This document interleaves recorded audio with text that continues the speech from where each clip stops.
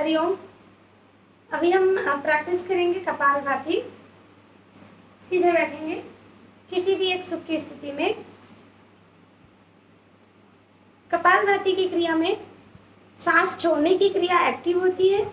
सांस लेने की क्रिया पैसिव होती है। अर्थात सांस छोड़ते हुए आपको फोर्सफुली एक्सेल करना है। लेकिन सांस छोड़ते हुए वो ऑटोमेटिक होगा।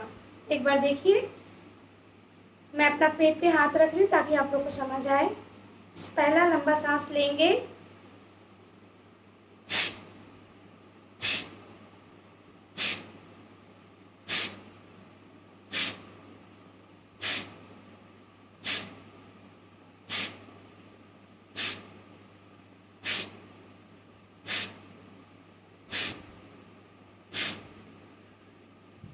ध्यान रखें। हर एक सेकंड पे एक स्ट्रोक होना चाहिए। बहुत ज़्यादा फास्ट ऐसे नहीं करना है और सबकी क्षमता अलग अलग है।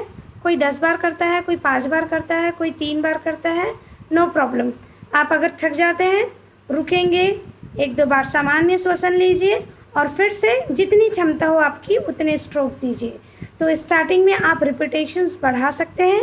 बाद में जैसे जैसे आपकी क्षमता बढ़े, आप एक मिनट में सिक्सटी सेकेंड होते हैं तो एक मिनट में आप सिक्सटी स्ट्रोक तक मैक्सिमम कर सकते हैं। Okay, thank you.